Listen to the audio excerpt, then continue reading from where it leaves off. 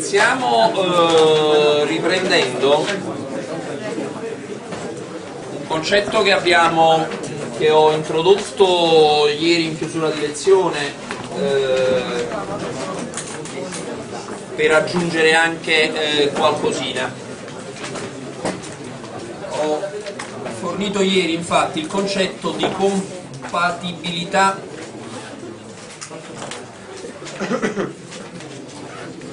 tra due misure, eh, che è un concetto fondamentale in quanto eh, sostituisce, quando parliamo di misure, eh, il concetto di uguaglianza tra misure. Perché non ha senso parlare di uguaglianza fra misure? Eh, abbiamo detto che qualunque processo di misurazione introduce un'incertezza, la misura non è un numero ma è un intervallo di valori, ecco che eh, se io faccio una misura e poi ne rifaccio una in un momento successivo, abbiamo detto che generalmente ottengo un altro numero, eh, ovviamente eh, non ha proprio senso porsi il problema eh, di uguaglianza tra due processi di misura. Invece è importante capire se due misure effettuate da due persone diverse o dalla stessa persona in momenti diversi, con metodi diversi, eh, se eh, sono eh, tra loro, usando un altro termine, potremmo dire coerenti, se, se possono essere ritenute entrambe corrette. Allora, due misure possono essere ritenute entrambe corrette se sono compatibili, ovvero se gli intervalli identificati dai due valori di misura e dalle relative incertezze, se questi intervalli hanno almeno un punto in comune. Come dicevo ieri, eh, la eh, proprietà di compatibilità tra le misure non gode della medesima proprietà dell'uguaglianza, eh, ovvero non ha la proprietà eh, transitiva, nel senso se una misura A è compatibile con una misura B e una misura B a sua volta è compatibile con una misura C, non è detto necessariamente che A sia compatibile con C e questo l'abbiamo già evidenziato ieri. Eh, volevo eh, fornire qualche ulteriore considerazione, farvi qualche ulteriore considerazione eh, su perché mai delle misure possono eh, risultare non compatibili. Mm? Perché può succedere che io effetto una misura, poi eh, fornisco lo stesso oggetto ad un altro interlocutore che prende un altro strumento, magari il mio stesso strumento, fa la misura e ottiene un risultato non compatibile col precedente. Allora, eh, le eh, motivazioni più classiche sono due. Le due misure non sono compatibili perché il misurando è cambiato e questa è l'interpretazione eh, buona nel senso che tutti e due stiamo facendo correttamente l'operazione di misura, però eh, l'oggetto che stiamo misurando è cambiato durante eh, questa, le nostre due operazioni di misura e quindi ovviamente troviamo due cose non congruenti tra loro. Eh, un altro motivo per cui due misure possono risultare non compatibili è che eh, uno tra noi, mh, mm, o entrambi, abbiamo sottovalutato l'incertezza di misura. Perché è evidente che se io ho una misura e un'altra e queste due misure hanno due intervalli senza nessun punto in comune, è ovvio che se uno degli intervalli si allarga, può capitare che le misure a questo punto diventino compatibili. Eh, questa considerazione mi serve per eh, sottolinearvi un aspetto abbastanza anomalo eh, del processo proprio di misura. Eh, se io vi dico che ho fatto una misura con una piccola incertezza, voi che mi dite? Sei stato bravo, cioè tanto più piccola è l'incertezza, tanto migliore il processo di misura. Eh, ho usato uno strumento più preciso, ho, fatto, eh, ho seguito una serie di accorgimenti tali da ritenere, da ottenere un risultato di qualità migliore l'incertezza in qualche modo può essere vista come il parametro di qualità di un processo di misura. Di solito, eh, quando uno fa una cosa eh, di, eh, di maggiore qualità ottiene un risultato, quando si impegna di più ottiene qualcosa di qualità migliore. Eh, che cosa può succedere? Può succedere che io, viceversa, ho, abbiamo detto che al, a determinare il valore dell'incertezza eh, contribuiscono vari fattori. Io devo tener conto dell'incertezza, ad esempio, valutata con una strada di tipo A, posso andare a considerare gli effetti di temperatura, gli effetti eh, di disturbi nell'ambiente, tutta una serie di elementi che vanno ad aumentare l'incertezza di misura. Se io viceversa dico no vabbè ma la temperatura non importa, no ma i campi elettromagnetici non interessano, no ma io ottengo un'incertezza più piccola, quindi mi sembra di ottenere un prodotto di qualità migliore. Cioè, minore il mio impegno nella stima dell'incertezza, migliore è il risultato che mi sembra di ottenere. Quindi è il contrario di quello che succede di solito. Più mi impegno, migliore il prodotto. Qua, se io faccio una stima dell'incertezza fatta male, ottengo un'incertezza più piccola. E che mi succede però? Mi succede che se io ho sottostimato l'incertezza di misura, poi faccio fare a te la misura, le nostre misure possono risultare non compatibili. Eh, in una, mm, la guida, come vi ho detto, pare avervi detto, eh, sono 130 pagine di norma, eh, di cui 40 sono proprio la parte tecnica, quella che riporta le cose che abbiamo visto, incertezza di tipo A, B, C, incertezza estesa, propagazione delle incertezze e quant'altro. Le altre sono appendici in cui fa una serie di considerazioni, una serie di esempi. Tra le considerazioni che fa, eh, in un punto, la guida eh, fa un'affermazione abbastanza forte, se vogliamo, dice il processo di stima della misura è un processo di natura di tipo etico. Allora, parlare di etica quando si parla di misure sembra un'affermazione un po' forte, eh, però eh, c'è sotto questo concetto, cioè se voi fate la cosa in maniera coscienziosa, ottenete un'incertezza più grossa e quindi un prodotto che vi vendete a un prezzo peggiore, diciamo, perché il risultato è più scadente. Però fate una cosa corretta. Ehm, una situazione tipica è quella che succede quando si fa i confronti fra i laboratori. Cioè, eh, i vari laboratori internazionali o anche i laboratori accreditati italiani ogni tanto fanno eh, un confronto interlaboratori per verificare se, se, fanno ancora le cose correttamente come, come al momento in cui sono stati accreditati. Allora che succede? Si prende un oggetto e questo oggetto viene passato di mano in mano, un, oggetto, un oggetto blind, un oggetto che, di cui nessuno conosce il valore. Allora io lo do a te e tu lo misuri, poi lo misura lei, poi lo misuri tu, poi lo misura lei, alla fine eh, ritorna a me. Eh, il primo che ha iniziato a fare la misura lo misura anche alla fine, per controllare che nel frattempo con tutti questi passaggi di mano non sia cambiato, e a questo punto si confrontano tutte le nostre misure. E allora mediamente trovi tutte misure compatibili. Qualche volta trovi anche laboratori molto importanti che si trovano con misure non compatibili con tutte le altre e perché? Perché per qualche motivo loro la loro strumentazione, il loro metodo, le persone che fanno le misure non sono più in grado, hanno sottostimato qualche sorgente di incertezza. Quindi è una situazione eh, pubblica in cui eh, si vede che chi ha stimato la propria incertezza in maniera insufficiente si trova non compatibile con tutti gli altri. Okay? Quindi compatibilità e non uguaglianza fra misure, eh, ci capiterà in alcune esercitazioni di misurare uno stesso oggetto con due metodi e poi alla fine io vi chiederò verificate se le misure che avete ottenuto sono compatibili. Quindi voi in un caso otterrete un misurando con l'incertezza, misurando, stesso misurando con l'incertezza e controllerete che gli intervalli siano, ammettono almeno un punto in comune. Ok? Allora, chiusa questa eh, questa parentesi che avevo aperto ieri, eh, chiudiamo almeno da un punto di vista teorico eh, questa parte eh, in cui ci siamo eh, occupati di valutazione dell'incertezza di misura.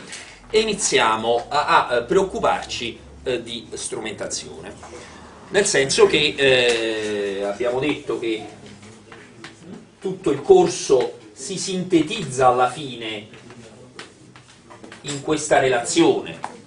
Misura più incertezza e unità di misura. Sulle unità di misura ci siamo già soffermati, sistemi internazionali e quant'altro. Sull'incertezza ci siamo soffermati in maniera anche abbastanza estesa. Adesso dobbiamo occuparci di eh, tirar fuori le misure. E le misure le tirano fuori o singoli strumenti o insiemi di strumenti. Quindi parleremo o di strumenti di misura o di metodi di misura, eh, intendendo per metodo eh, un eh, montaggio di un opportuno eh, circuito in cui utilizzo vari strumenti e poi un'equazione che ci consenta di stimare il misurando. Eh, prima di parlarvi del primo strumento che andrete anche a eh, a utilizzare in laboratorio che è eh, il eh, multimetro numerico.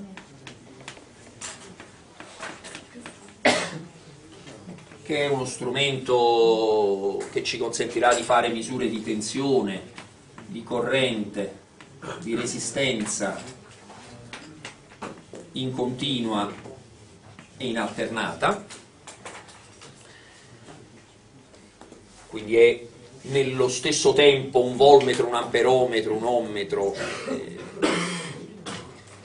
eh, cerchiamo di capire eh, in generale se io devo misurare una tensione in un circuito, che cosa mi aspetto, che cosa devo inserire nel circuito, se devo misurare una corrente, che cosa devo inserire in un circuito. Eh, discorso, sono discorsi abbastanza eh, semplici che probabilmente già eh, già conoscete, ma eh, è bene soffermarsi un attimo. Allora, partiamo dalla... Eh, se io ho un circuito, ho un certo carico, una certa resistenza, in questo circuito circola una certa corrente e ai capi di questa resistenza ho una certa caduta di tensione corrente, tensione, resistenza. Come faccio a misurare correnti? Allora, le correnti, voi sapete, si misurano in ampere e eh, lo strumento che misura corrente prende il nome di amperometro. Allora, eh, qualunque strumento di fatto deve sentire la grandezza che va a misurare. Eh, allora, siccome la corrente almeno quella di cui ci interessiamo noi, perché le correnti circolano, ci, ci, interessiamo per adesso di correnti che viaggiano nei fili, tenete presente che le correnti possono viaggiare in piastre conduttrici, le correnti viaggiano nell'aria, eh, quindi eh, diciamo ci sono anche misure di corrente un po' più eh, complicate di quelle che, eh, che andiamo a affrontare in prima battuta, per adesso immaginiamo avere un filo e quindi la corrente che circola. Eh, il modo per misurare la corrente è andare a inserire in serie al nostro circuito questo strumento che prende il nome di amperometro. Quindi io interrompo il circuito, ci infilo questo dispositivo, faccio in maniera tale che la corrente entri ed esca da questo dispositivo e poi completo il circuito. Allora, connessa a qualunque tipo di misura va introdotto un concetto che è quello di consumo di uno strumento. Quale sarebbe la cosa ideale? Cioè, quando io vado a fare una misura, la cosa ideale, il mio obiettivo da raggiungere, è di far sì che l'introduzione dello strumento di misura non perturbi il sistema su cui sto facendo le misure. Cioè, devo evitare che eh, io avevo un circuito e voglio sapere qualcosa delle grandezze fisiche in questo, in questo sistema, voglio evitare che quando vado a mettere lo strumento eh, cambio le condizioni in cui stavo funzionando. Immaginate se dovete fare una misura di temperatura in un fluido, eh, non è che vi può succedere che inserite lo strumento di misura, il termometro, e cambia la temperatura del fluido. Perché a quel punto poi levate lo strumento di misura, la temperatura ritorna quella di prima e voi eh, non avete misurato effettivamente il misurando, ma quello che il misurando diviene quando arriva lo strumento. Stesso discorso qui quando misuro correnti. Devo far sì che quando inserisco questo oggetto, questo circuito cambi il meno possibile. Allora si parla di consumo, eh, il termine consumo viene usato per indicare la perturbazione introdotta da un qualunque strumento di misura eh, nel circuito in cui viene inserito. Secondo voi, che caratteristiche deve avere questo amperometro per perturbare il meno possibile? È un oggetto che ho inserito in serie nel circuito. Quindi lui deve sentire la corrente. Non c'è niente da fare, per sentire la corrente lui dovrà in qualche modo eh, introdurre nel circuito qualcosa, cioè non si riesce a sentire senza eh, in qualche modo assorbire energia dal sistema in cui si sta effettuando la misura. Ecco che questo strumento è caratterizzato da una sua piccola resistenza, chiamiamola R con A, una resistenza interna, che vedete perturba questo circuito, perché se io avevo qui una certa tensione V e la legge che regolava questo circuito era V uguale R per I, adesso io ho V uguale R più RA per I. Quindi qualcosa è cambiato. Se la tensione era un oggetto impresso, cioè bloccata dall'esterno, che succede? Che se V resta lo stesso e diminuisce la corrente, perché è cresciuta la resistenza. Se viceversa era la corrente quella ad essere impressa, ad essere vincolata dall'esterno, e allora la tensione è più alta.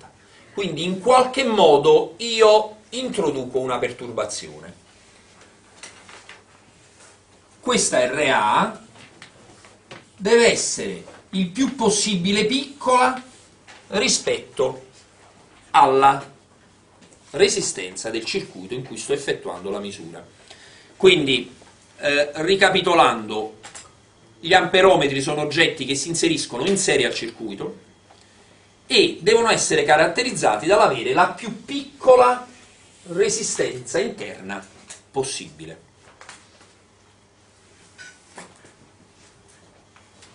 Cosa succede se viceversa voglio misurare la differenza di potenziale ai capi di questa impedenza?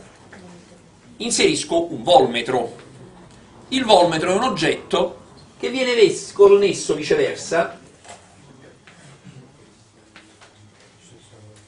ah, eh, ragazzi, voltmetro, non voltometro come eh, spesso si sente, diciamo, per chi ha provenienze istituti tecnici c'è il voltometro. Allora io ogni volta sento voltometro e mi viene un piccolo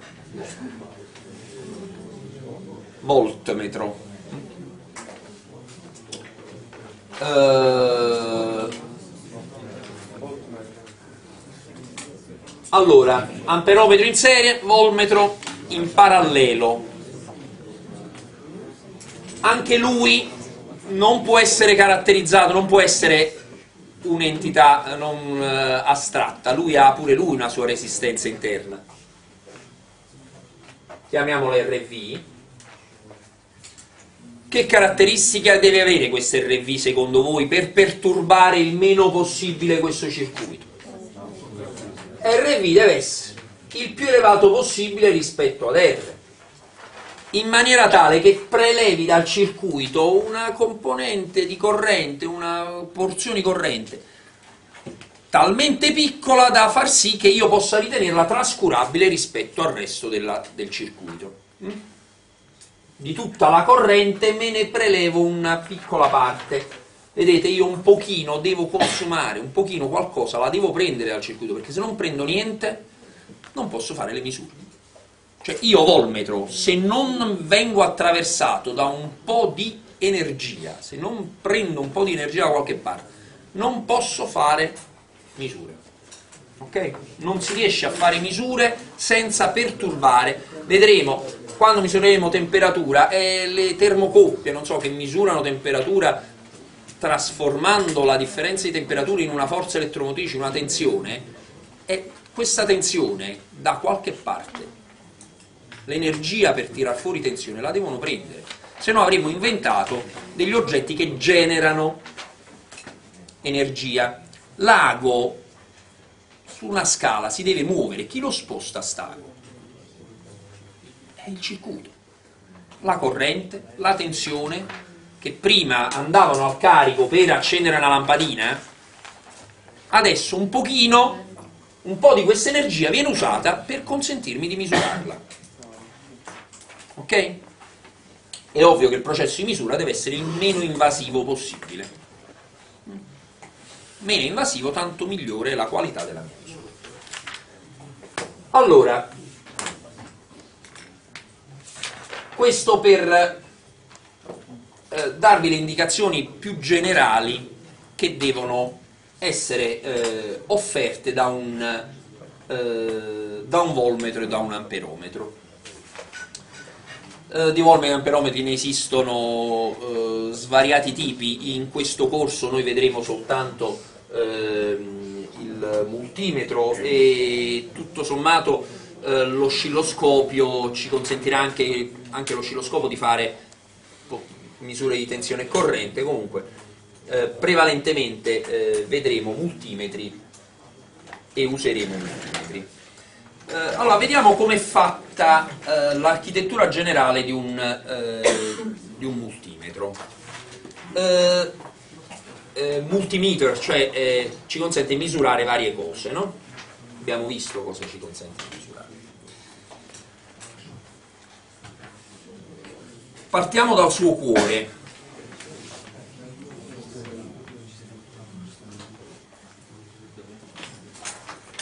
Eh, il suo cuore è uno scatolotto su cui in questo corso ci soffermeremo molto, eh, diciamo senza entrare troppo all'interno. È uno scatolotto che prende il nome di convertitore analogico digitale è, eh, quindi per noi adesso è un oggetto magico che ci porta dal mondo analogico al mondo. Dei bit. O analogico digitale. Eh, che, che, cosa vuol dire grandezza analogica, cosa vuol dire grandezza eh, digitale? Eh, digitale sta per digit, cifra, quindi una grandezza digitale o usando un termine più corretto dal punto di vista italiano eh, numerica. Infatti qualcuno qua nei libri più, dei più puristi trovate AN, convertitore analogico numerico o numerale ma ci, oramai ci si ride un po' addosso. Analogico digitale. Ehm, la grandezza digitale è una grandezza che varia per valori discreti.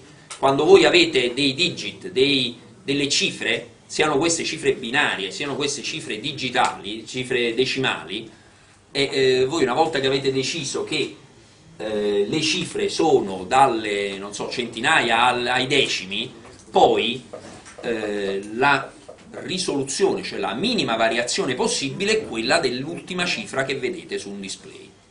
Ok, quindi il discorso digitale è automaticamente connesso ad una variazione di tipo discreto. Eh, le grandezze analogiche sono quelle eh, con cui siamo eh, abituati ad avere a che fare nella vita eh, pratica. Quasi tutte le grandezze con cui abbiamo a che fare variano con continuità, nel senso che quando io parlo di tempo eh, io posso suddividere questa eh, quantità teoricamente, almeno concettualmente, in quantità piccole quanto si vuole. Se io parlo di tensione posso immaginare che la tensione sia, possa essere suddivisa e variare con eh, di quantità piccole quanto si vuole. È ovvio che quando parlo viceversa di strumentazione analogica, anche la strumentazione analogica non riuscirà a misurare una quantità piccola quanto si vuole, perché anche la strumentazione analogica ha una risoluzione. Vi ricordo, ieri abbiamo definito la risoluzione, la più piccola parte che riesco a misurare, a, a leggere. Mm? Allora, se ho uno strumento digitale, è facile parlare di risoluzione, perché è l'ultima cifra che vedo, generalmente su un display a cristalli liquidi. Su una grandezza analogica io ho un ago e una scala graduata. E la risoluzione è la minima lettura che riesco ad avere sulla scala.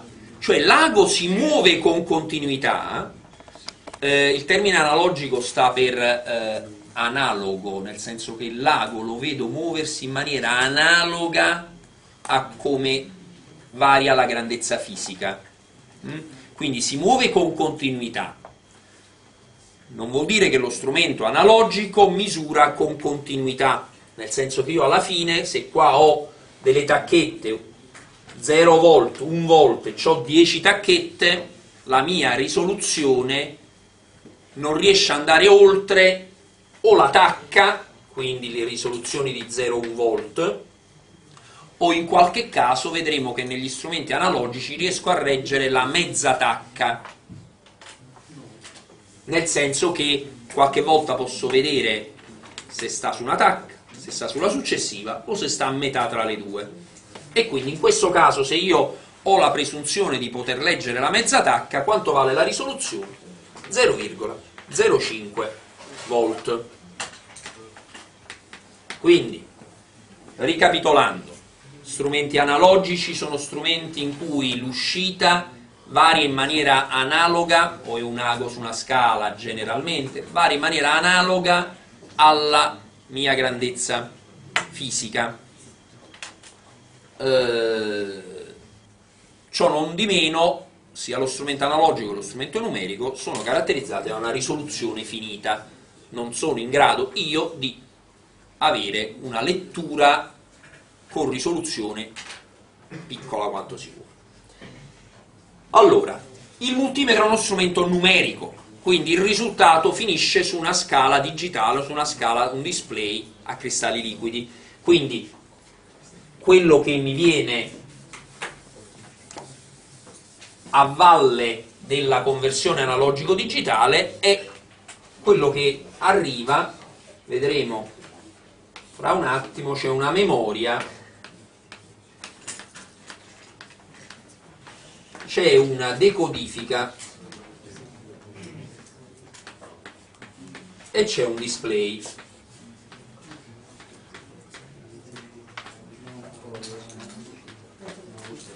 Ok? Un display.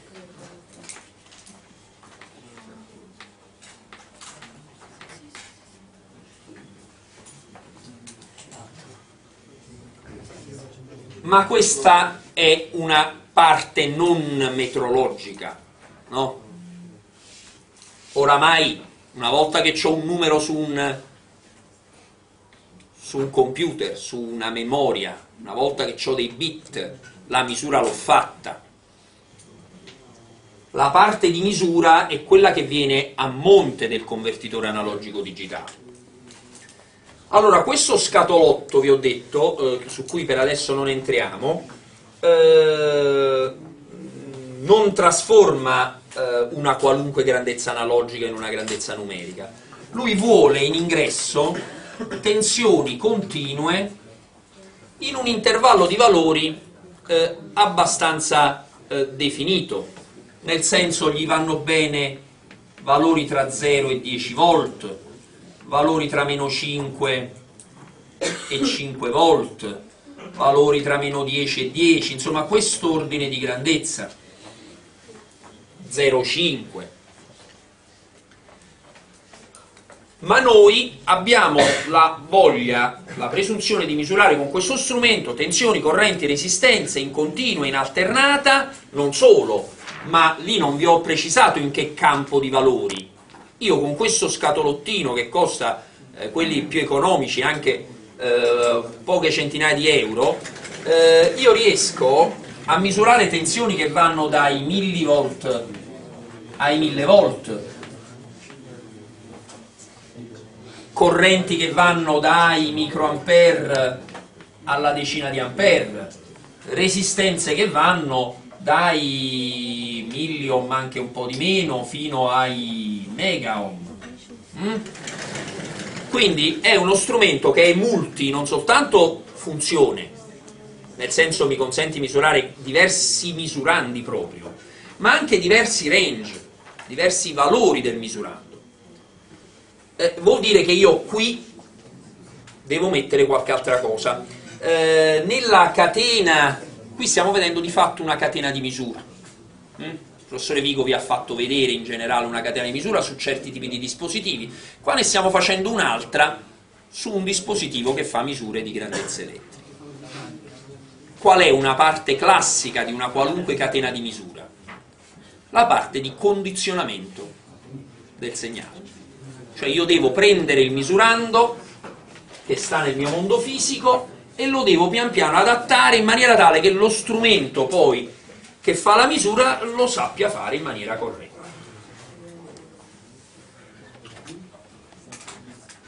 Allora, eh, partiamo dal mondo fisico e partiamo dalla prima grandezza. Allora, siccome questo sa fare misure di tensione continua, eh, partiamo dalle misure di tensione continua, no? Partiamo da quella che è la sua, eh, il suo task più, per cui è nato allora mi devo collegare in parallelo al circuito, ho bisogno comunque di due, di due ingressi, perché devo fargli entrare un filo e un altro filo. Eh, questi due ingressi eh, li trovate indicati come H e L sul frontalino del vostro eh, multimetro. H sta per high, L sta per low. Uh, vabbè, su che cosa voglia dire questo H e questo L ci ritorniamo fra un attimo. Per adesso sono due fili, due, due ingressi.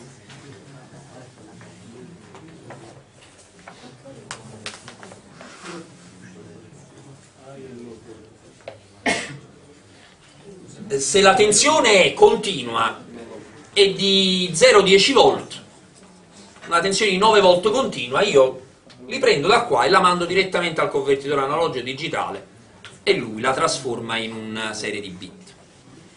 Cosa succede se la tensione è più piccola o più grande? Allora è ovvio che io devo poter, se è più grande, devo poterla ridurre per arrivare al campo di valori che questo è in grado di misurare. Quindi devo inserire un, un blocco che prende il nome di attenuatore. Se ho 1000 volt, devo farli diventare 10. Qual è il modo più semplice per attenuare un segnale? Elettrotape. Questa sconosciuta.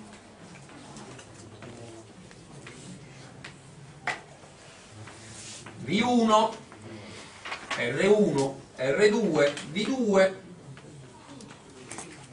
V2 uguale V1 per R2 fratto R1 più R2, partitore di tensione. Mm? Facile facile, due resistenze, pochi spiccioli e una tensione molto alta può diventare una tensione più bassa. Ricordiamoci sempre, ogni condizionamento del segnale introduce una incertezza aggiuntiva. Ok? Cioè se io devo misurare 9 volt, l'unica incertezza me la introduce questo scatolotto, perché questo scatolotto non è che è magico, che trasforma da analogico a digitale senza fare errori, avrà una sua incertezza. Se però la tensione erano 1000 volt, vabbè io 1000 volt metto delle resistenze e queste diventano 10 volt. Ma i valori di R1 e R2, questo è come dire V con 1 per K. L'incertezza su V con 2 a che cosa è uguale? È funzione dell'incertezza su V con 1 e l'incertezza su K. In particolare vi ricordo l'incertezza relativa su V2 è radice quadrata della somma dei quadrati delle incertezze relative su V1 più incertezza relativa su K quadrato quadrato. Mm? A sua volta l'incertezza su K dipende dall'incertezza su R1 e su R2. Ma questo solo per dirvi eh, che ogni pezzo che andiamo a utilizzare mi fa peggiorare le mie performance. Oh, questo blocco in realtà, oltre ad essere di attenuazione, può anche essere di amplificazione. Perché? Allora, che mi serviva un attenuatore, non vi siete stupiti. Perché Certo, se lui vuol misurare 10 e gli mando 1000 volt, si rompe, cioè, non lo sa fare, no? Se voi una bilancia che misura fino a 100 kg, gli mettete 1000 kg, si rompe, non misura, o al massimo fa, F, fa fondo scala, non, non vi consente di misurare. Secondo voi come mai serve anche un amplificatore? Vediamo se... Per? Perché? Troppo basso perché è brutto troppo basso? Che abbiamo detto ieri? Gli strumenti devono lavorare a fondo scala. Quindi anche il convertitore analogico digitale, quando lo conosceremo meglio, capiremo che dire 0,10 volt non vuol dire che se io misuro un volt lo misuro così bene come se misura come quando misura 10 volt, ok? Quindi devo cercare sempre di lavorare verso il fondo scala. Ecco perché con un attenuatore e un amplificatore, l'amplificatore è un oggetto elettronico su cui per adesso noi lo riteniamo un oggetto magico, magico ma non tanto magico da non introdurre pure lui una certa incertezza, quindi devo capire che quando misuro millivolt ho precisioni peggiori che quando misuro il volt, microvolt devo amplificare di più. Hm?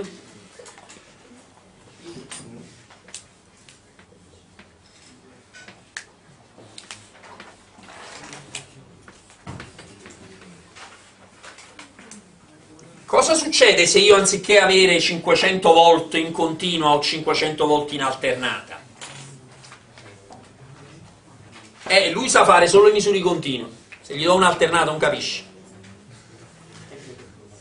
Devo mettere un altro blocco che si chiama ACDC converter, convertitore alternata continua, che se serve trasforma la mia grandezza alternata in una grandezza continua. Quindi, se io ho una tensione continua alternata, piccolo o grande che sia, con questi due eventuali blocchi, perché io qua posso non passarci, e qua posso anche avere amplificazione 0 e attenuazione 0 se ho 10 volt, sono in grado di gestire le tensioni. Ma io voglio misurare anche le correnti.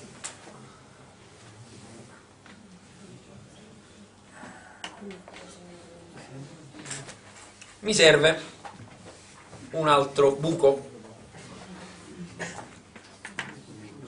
un altro ingresso. Eh, e non solo, lui sa misurare tensioni. io ho correnti. Come faccio a trasformare una corrente in una tensione? Il modo più semplice per trasformare una corrente in una tensione è inserire una resistenza nota. Perché allora la corrente dà origine a una caduta di tensione. V uguale resistenza campione per corrente. La corrente che io devo misurare la misurerò come rapporto fra la tensione e la resistenza. RC nota.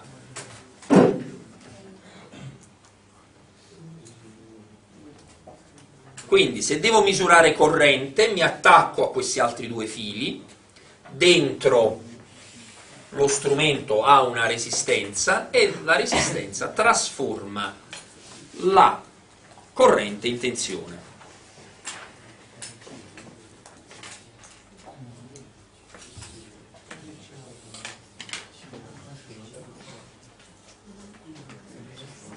Qui bisogna inserire uno scatolotto eh, che a seconda di quello che gli ho chiesto da, di misurare, eh, il, il, multimetro, ci stanno anche quelli più raffinati che hanno vari display, ma il multimetro mi consente di fare una misura per volta. Quindi io gli devo dire che mi, vuoi, che mi misuri di questa cosa, la tensione continua, la tensione alternata, la corrente, a seconda di quello che gli ho chiesto di misurare, lui deve portare agli stati successivi eh, o questo segnale o questo. Se non gli dico corrente e lui mi misura questo, non, non è quello giusto.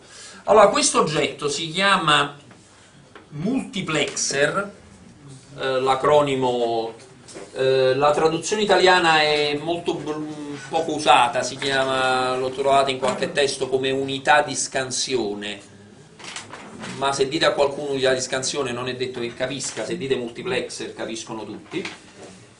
Eh, non è nient'altro che una serie di interruttori che collegano questa uscita a quell'ingresso che serve. Ok? Sulla base della selezione che voi avrete fatto sul menu. Quindi se voi gli dite corrente, lui attacca qua.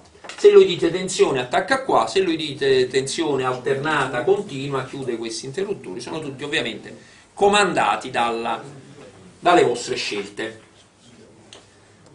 Allora, in questo modo lo strumento è in grado di fare misure di tensione e corrente. Corrente alternata, che dobbiamo fare? Allora immaginiamo corrente alternata 1 mA. Immaginiamo che questa resistenza sia 1 ohm. Mm? Allora che succede? Che questa, la corrente 1 mA dà origine a 1 mV. 1 mV viene amplificato, viene convertito da alternata in continua e viene convertito. Allora, secondo voi, eh, quando andate a prendere le specifiche eh, di eh, questo multimetro, trovate varie paginette? O anche magari in alcuni più, più sintetici un'unica tabella grande dove vi mette le varie prestazioni, le varie accuracy?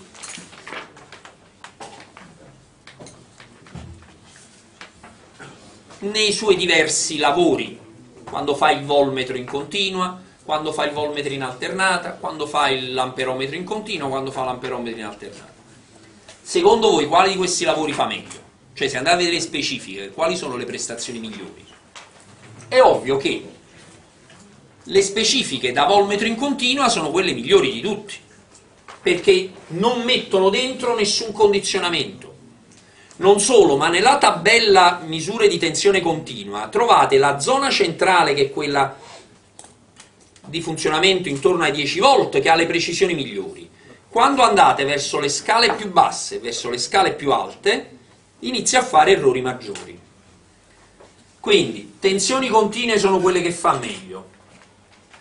Poi fa discretamente le correnti continue, fa un po' peggio le tensioni alternate, fa ancora peggio le correnti alternate correnti alternate piccole le fa male.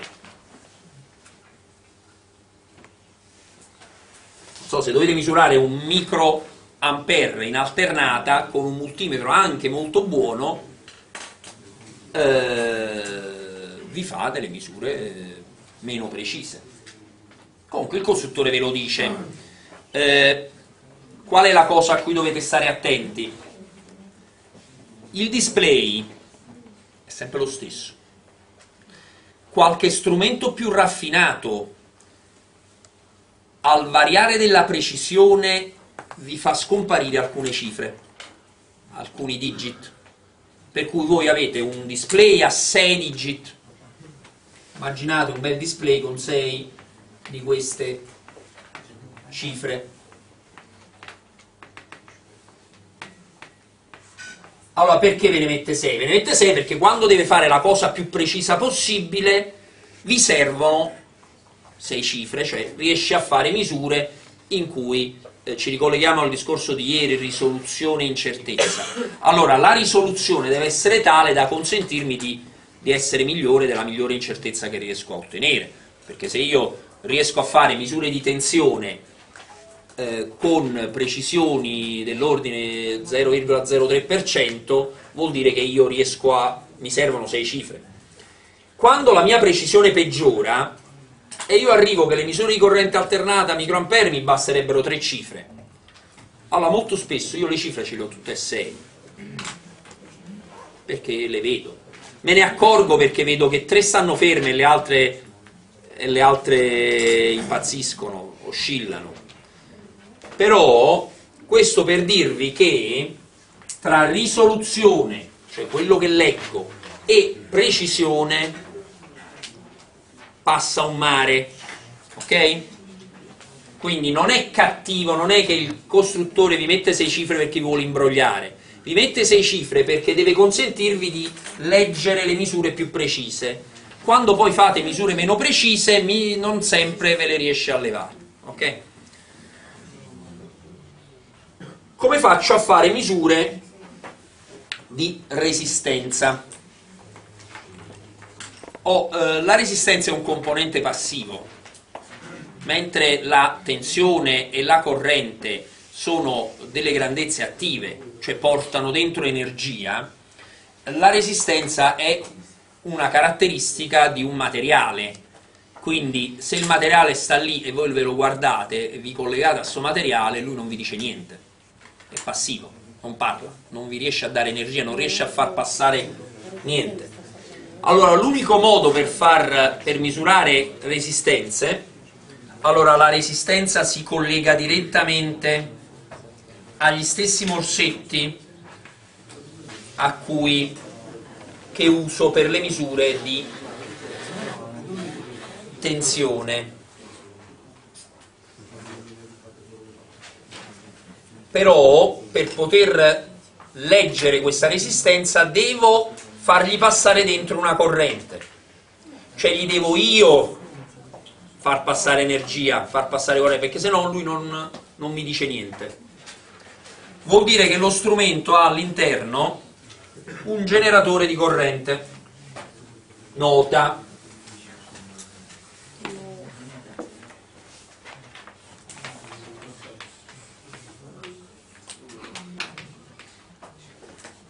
Che fa passare qua una corrente nota.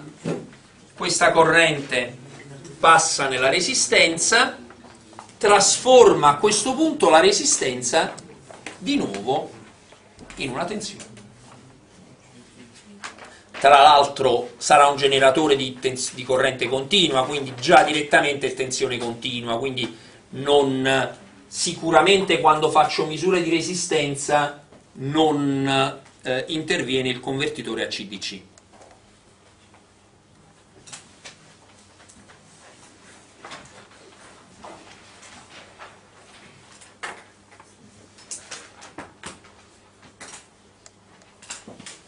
Eh, qualunque multimetro ha perlomeno tre ingressi, ok?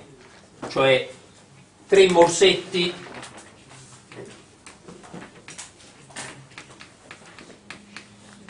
ce li ha anche eh, il multimetro che pagate 4 soldi nel negozio di elettronica.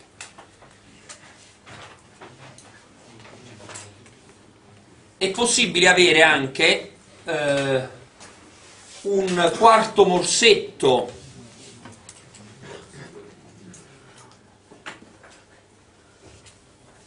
che mi serve per misure di corrente più elevate. Eh, io lo chiamo I e poi ci scrivo unfused, senza fusibile. Eh, che succede? Eh,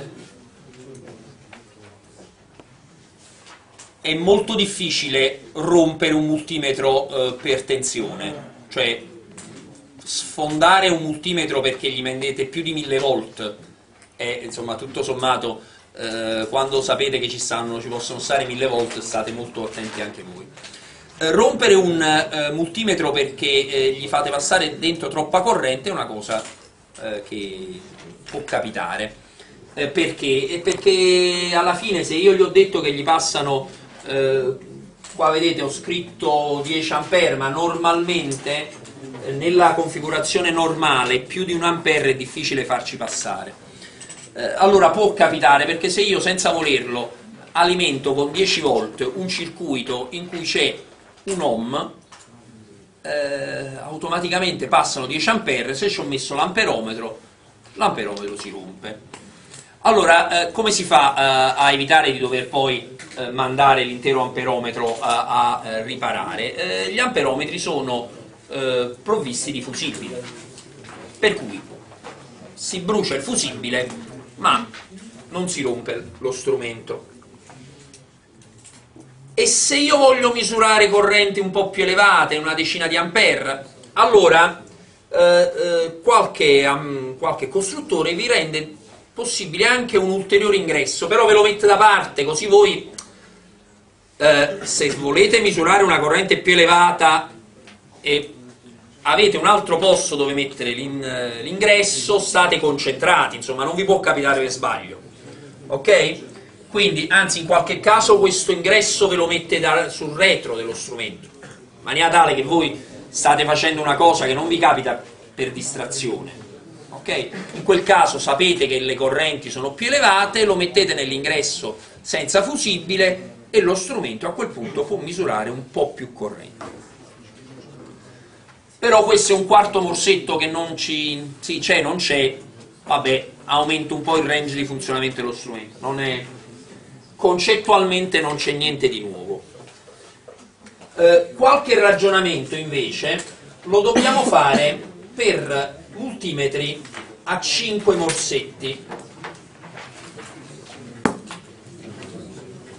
E siccome sono un po' particolari ce li andiamo a fare su questa lavagna.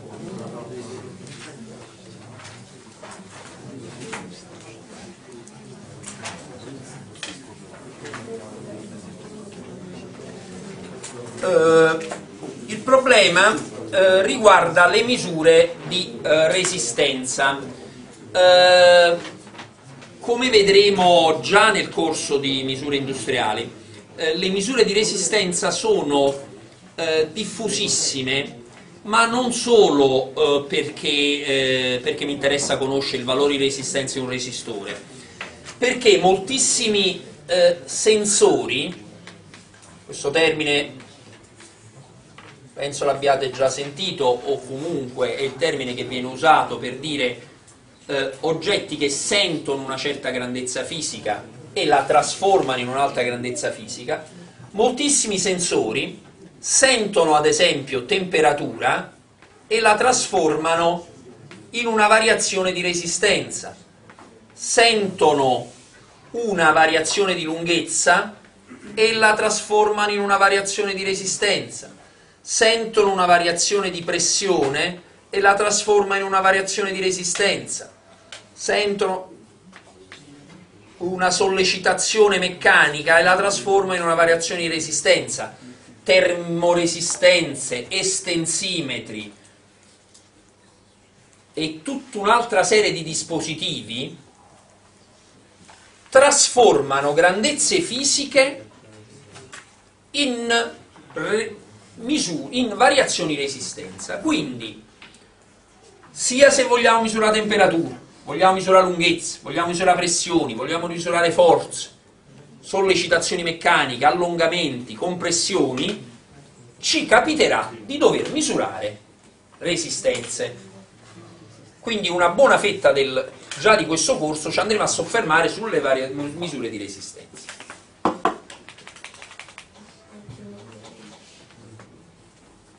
Vediamo come la faccio in un sistema come ve l'ho fino adesso descritto. Faccio passare una corrente e misuro una tensione.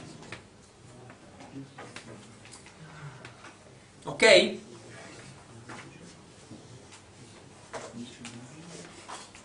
R sarà V diviso I.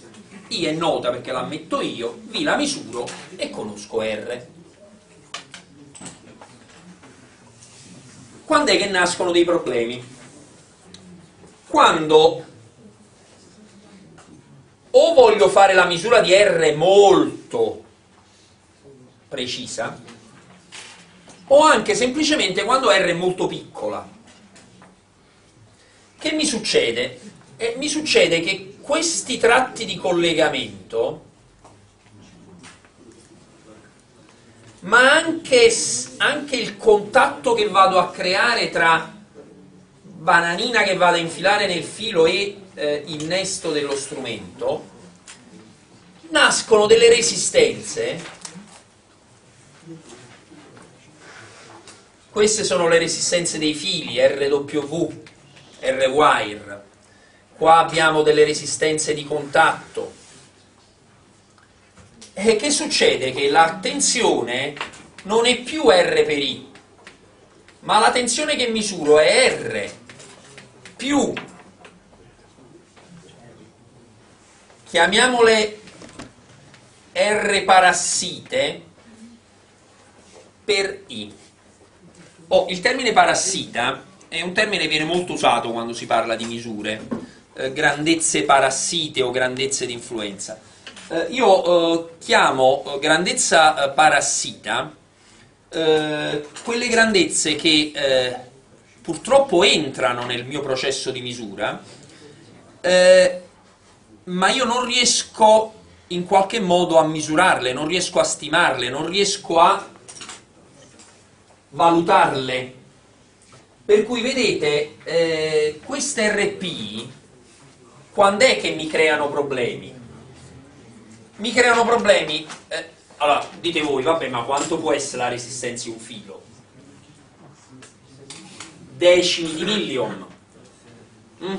Allora immaginiamo, mettiamo un numero, 10 a meno 4 ohm. Quando è che 10 a meno 4 ohm per me è un problema?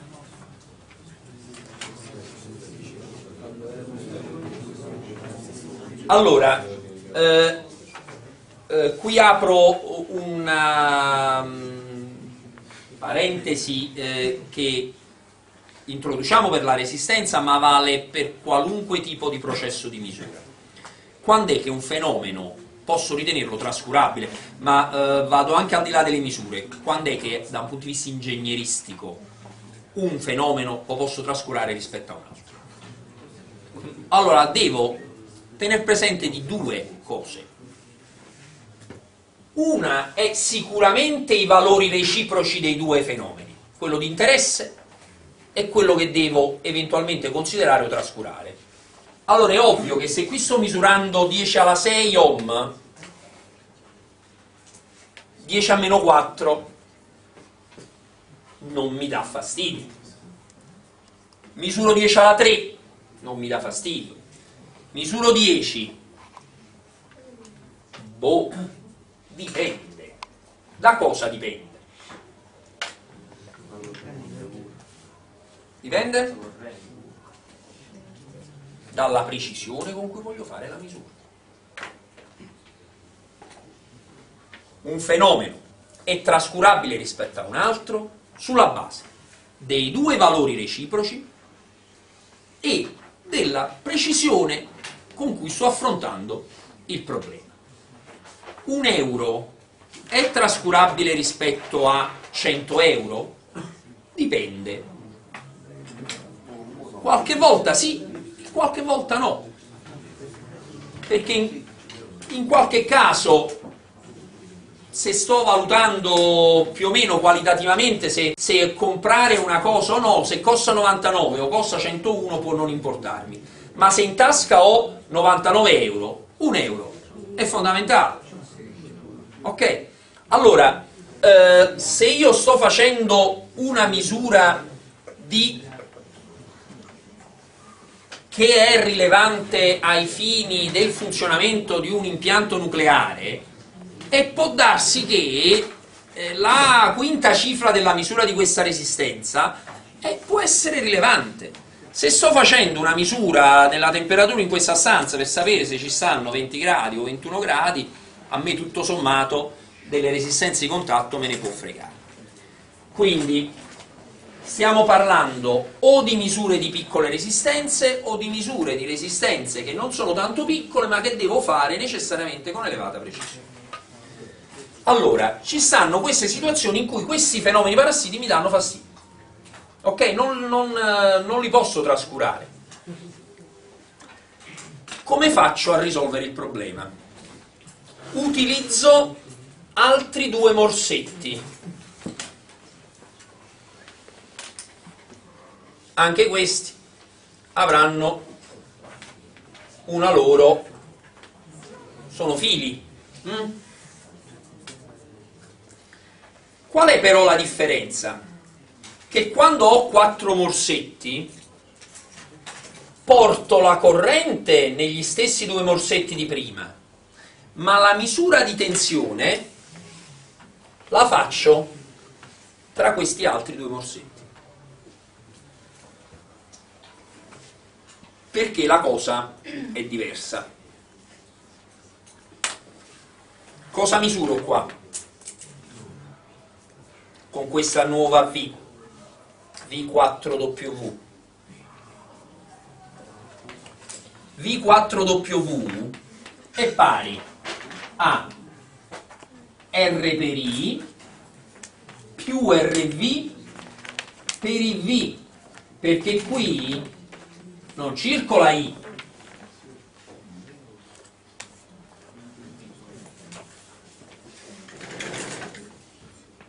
Questa è la corrente I. La corrente IV è quella che viene derivata dal volmetro, che è caratterizzato da avere una resistenza d'ingresso il più elevato possibile. Non, non ho specificato qui, ma il convertitore analogico digitale sarà un oggetto che offre in ingresso un megaohm di impedenza d'ingresso, quindi diciamo è un oggetto che soddisfa le caratteristiche di avere una elevata resistenza d'ingresso. Allora vedete, il trucco non è rendere piccole RV, il trucco è farle, farle far passare in queste resistenze una corrente più piccola rispetto a quella pre- vedete la I arriva qui, una parte se ne va da qua piccola perché, perché un volmetro assorbe poca corrente. E quindi questo qui lo posso trascurare non perché RV è piccola rispetto ad R ma perché I con V è piccola rispetto ad I.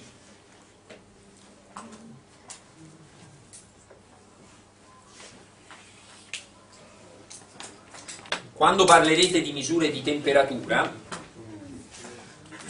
vedrete che eh, quando voglio fare misure molto accurate userò termoresistenze, che sono dispositivi che trasformano la temperatura in resistenza. Quando devo fare misure poco precise userò le termoresistenze a due fili.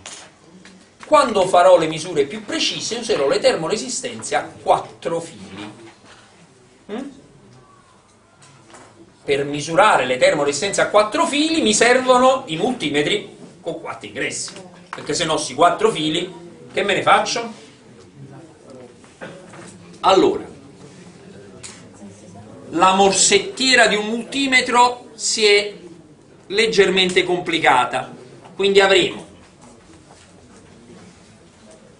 il morsetto high, il morsetto low, il morsetto corrente, questo Ian Fused lo leviamo da parte, ve lo trovate ma, ma, ma non è particolarmente importante, poi vi trovate un morsetto H4W e un morsetto L 4W oh, eh, ragazzi eh, ovviamente le, eh, i costruttori eh, fanno i frontalini come vogliono. Cioè quando avete un cruscotti una macchina e chi mette gli abbaglianti a destra chi a sinistra chi mette una cosa chi un'altra la cosa fondamentale è che sapete che in una macchina ci stanno gli abbaglianti, gli abbaglianti da qualche parte ci devono stare. Allora, eh, se vedete che ci stanno 5 buchi, poi li chiamerà in maniera diversa, però l'importante è che voi sapete che servono 2 per le misure di tensione, 4 se volete fare misure di resistenza a 4 fili, 2 se volete fare una misura di corrente e quindi siete in grado di inserire eh, i puntalini nel posto giusto. Oh, eh, ancora sul eh, multimetro vi ho detto HL che vuol dire cioè eh, la misura di allora noi usiamo il termine tensione eh, in maniera gergale eh, sarebbe più corretto parlare di differenza di potenziale. Cioè la misura di tensione è sempre una differenza di potenziale tra due fili. Un multimetro posso capovolgere i fili, cioè è importante il senso con cui infilo i fili H ed L. Allora, gli strumenti che misurano tensione si dividono in due categorie.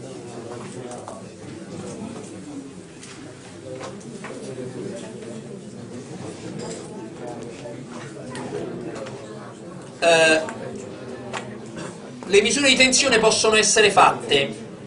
Eh, la terminologia è un pochino eh, gergale, ma non...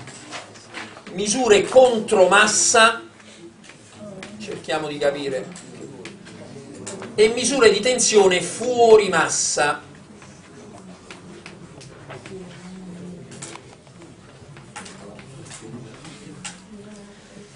Allora, che sto dicendo? Che se io ho due fili, io posso fare una misura di differenza di potenziale con questo secondo filo che è a potenziale di massa, cioè a zero, o misure di differenza di potenziale in cui nessuno dei due fili è a potenziale vincolato. i multimetri fanno misure fuori massa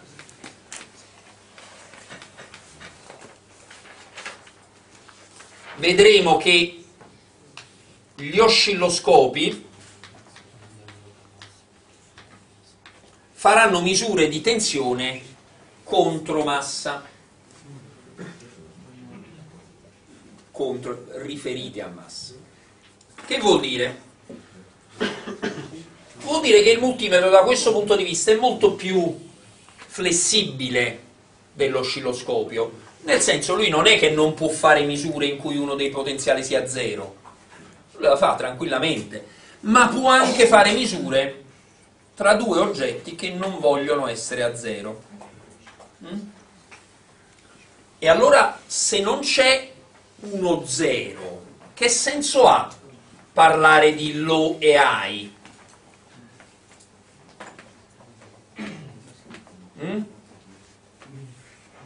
Ha senso, perché se io ho 100 volt rispetto a 0, allora c'è un basso e un alto. Se io non ho un mio riferimento, eh, è utile, allora è ovvio che se sto parlando, eh, ad esempio, immaginiamo di, avere, eh, di voler misurare la 220 volt che troviamo nella presa voi sapete che eh, la nostra eh, distribuzione, o se non lo sapete ve lo dico, eh, è gestita con eh, c'è una fase e c'è un neutro. Il neutro è a potenziale di terra, quindi quando dite 220 volt eh, non sono 220 che possono muoversi liberamente, sono 220 volt in cui questo potenziale è 0, uno dei due, il neutro e la fase. Questo è utile nel senso che se mettete le dita qua non morite, se mettete qua le dita morite, quindi diciamo è una cosa che uno un poco ci deve fare attenzione. Ehm, tant'è vero che ci stanno alcuni apparecchi a casa eh, in cui non potete invertire, se no eh, sì. Allora, eh, ritorniamo al nostro multimetro dopo eh, questa parete. Allora, HL. Secondo voi è la stessa cosa misurare 100 volt tra 0 e 100 o tra 10.000 e 10.100? Allora, delta V è 100.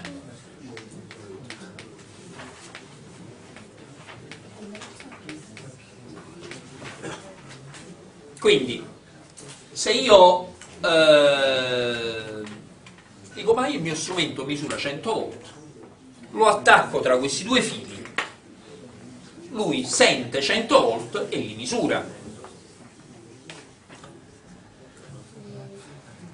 Se voi attaccate un volmetro tra questi due fili, il volmetro fa una bella botta. Come mai? Perché c'è eh, una caratteristica eh, di tutti, eh, di buona parte dei dispositivi, vorrei dire tutti, però insomma, che prende il nome di tensione di isolamento. Uh, in alcuni strumenti la trovate, negli strumenti analogici tradizionali la trovate come valore riportato all'interno di una stellina, trovate un numero dentro una stellina, eh, nei multimetri trovate un bel segno ZOT con vicino scritto 1000 volt DC o 750 volt AC. Mm. Comunque, cioè, c'è di solito un bel warning sul frontale. Qual è il problema? La carcassa del vostro multimetro è comunque, o dovrebbe essere comunque, a zero. Perché? Ci mettete le mani voi. Ok? Quindi, nonostante lo strumento sia uno strumento che misura senza pensare alla massa, la carcassa, ci mettete le mani voi, è a potenziale zero. Allora, qui dentro avete poi i due bravi fili tra cui lui fa la misura. Secondo voi, qui dentro c'è aria, è uno scatolino, tra l'altro piccolino, multimetro, non è grande. Eh, noi immaginiamo sempre che l'aria sia un isolante, perché di fatto non passa la corrente, ci sembra non passi corrente, no? Se io ho qua 100 volt e metto qui vicino non succede niente. L'aria è un isolante ma non è un isolante ideale. È un isolante fin quando non viene superata una certa tensione. Se no, lui viene perforato. Quindi ci sarà la tensione isolamento e la massima tensione che ci può essere tra low e carcassa. Ok? Quindi con il vostro strumento potete misurare al massimo tensione di isolamento più la delta V massima con cui potete misurare rispetto. Ecco che ha un senso high e low, nel senso che il low è quello che può essere spostato rispetto a terra ma non poi di tanto quanto tenete presente che questa tensione di isolamento a me mi è capitato di sfondare uno strumento che tra l'altro non era neanche particolarmente economico, che aveva 24 volt di tensione di isolamento. Allora io l'ho usato per fare le misure su degli inverter, avevo 220 volt contro massa, no tra l'altro neanche pu, perché quando muoiono di corrente gli strumenti fanno puff, che si scioglie un filo. Quando muoiono di tensione, po, fanno una botta perché ci stanno dentro i condensatori, oh, cioè, quando muore, quando... Quindi diciamo, diciamo, se dovete decidere di rompere qualcosa, bruciatelo in corrente, no? sentite un po' di puzza di bruciato e capiamo che qualcosa che non è andato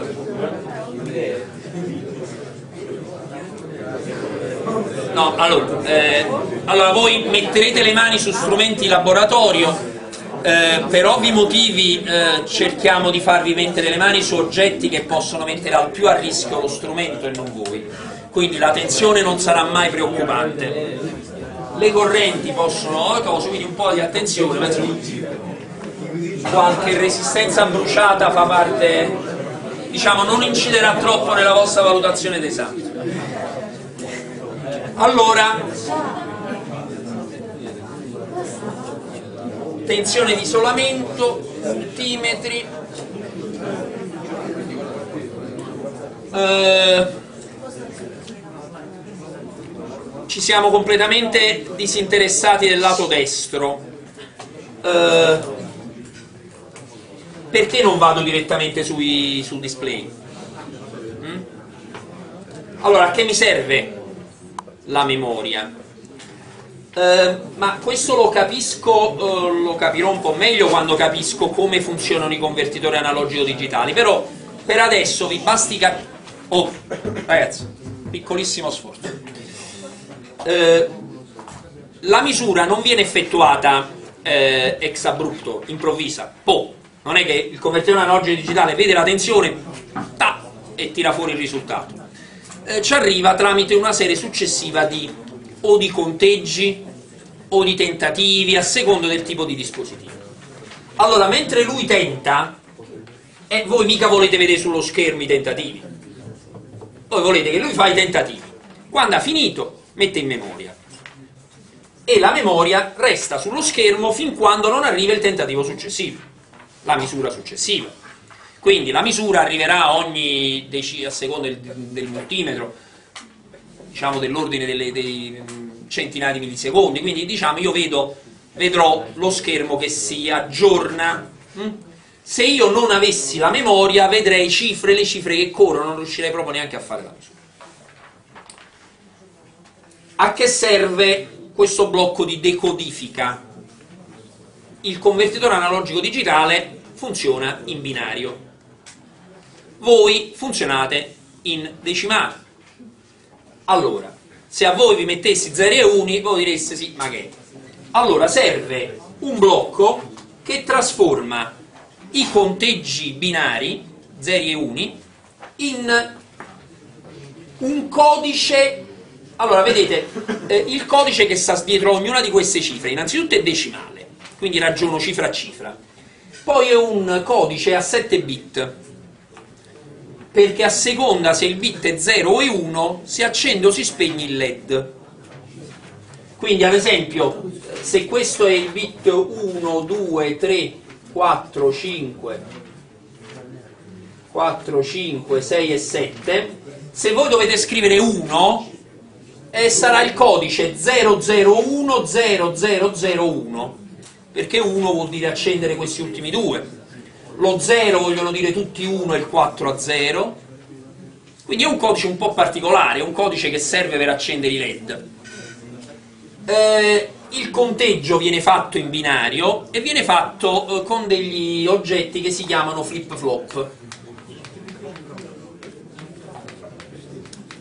Eh, flip-flop sono gli oggetti che fanno 01, 01, 01.